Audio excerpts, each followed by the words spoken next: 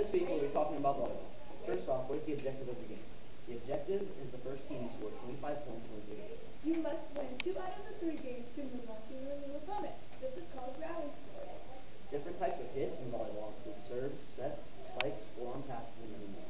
We asked the lady what her favorite part of coaching the volleyball team is, and she says that she loves spending time with the girls outside of the school environment and Que gole!